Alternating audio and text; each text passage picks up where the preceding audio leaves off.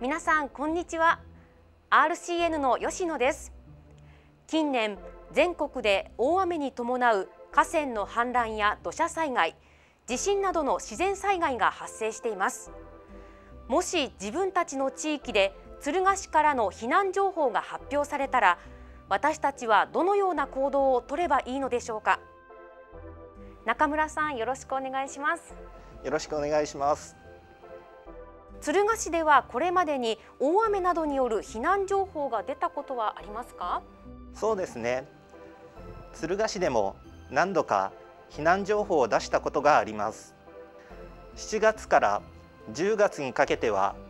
日本に接近上陸する台風が多くなり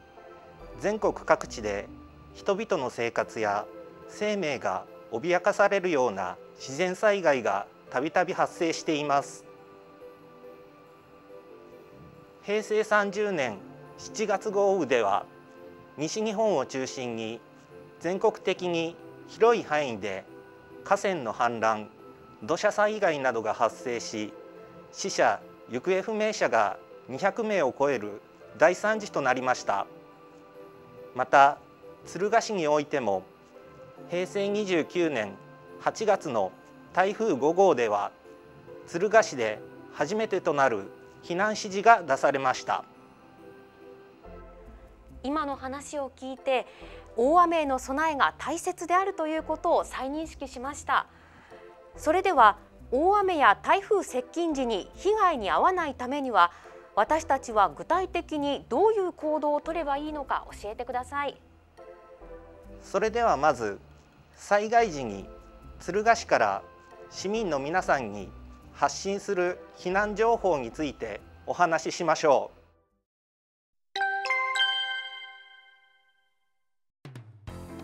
避難情報とは災害が発生する危険が高まった時対象となる地域住民が適切な避難行動を取れるよう敦賀市から発令するものです。災害の危険度に応じて警戒レベル3高齢者等避難。警戒レベル4避難指示。警戒レベル5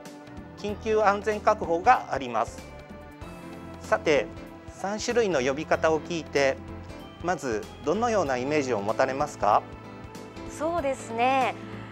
高齢者等避難と聞くと文字通り高齢者は避難を開始する段階なのかなというイメージですが具体的にどのような行動を取るべきなのかはまだ漠然としていますね。なるほど。では避難情報の意味やどのような行動を取ればいいかをそれぞれ解説していきましょ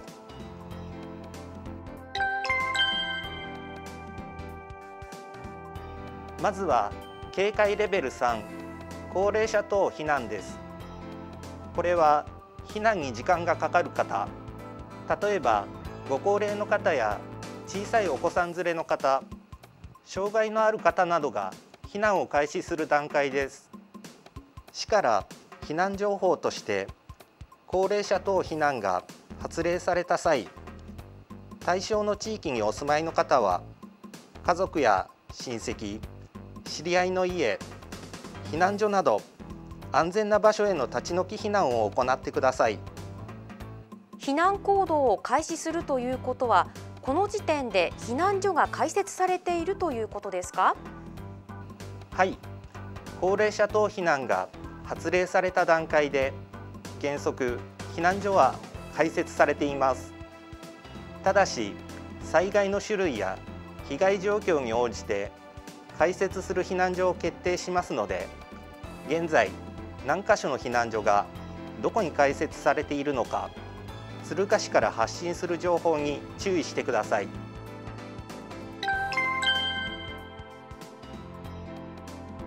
次に警戒レベル4これは全員が避難を開始する段階です。発令された地域にお住まいの方は基本的には立ち退き避難を行ってくださいただし周囲の状況により立ち退き避難はかえって危険だと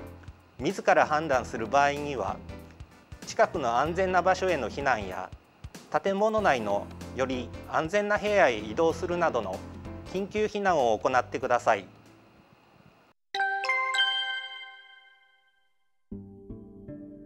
最後に警戒レベル5緊急安全確保です。これは河川の氾濫といった災害がすでに発生している状況で発令されます。少しでも高い場所や崖から離れた場所へ移動するなど命を守るための最善の行動をとってください。またこの情報は必ず発令されるものではないため発令を待つことのないようにしてください。かりました。では状況に応じた適切な避難行動を取るためにも私たちは日頃からどのようなことに備える必要があるのでしょうか？まず災害時に避難所への避難が必要かどうかを確認しましょう。ハザードマップでお住まいの地域が浸水や土砂災害の恐れのある区域かどうかを事前に確認してください。区域の外もしくは区域内であっても十分堅牢で浸水する深さよりも高い建物にお住まいの方は自宅にとどまり安全を確保することも検討してください。災害の恐れのある区域内また区域外であっても低い土地や崖などの近くにお住まいの方は屋外へ避難する必要があります。その際に